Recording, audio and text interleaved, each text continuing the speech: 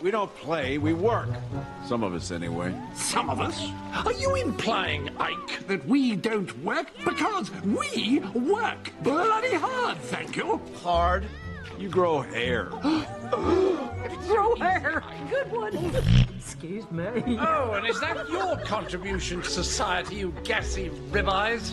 Filthy hairball. Ribeyes? Lint ball.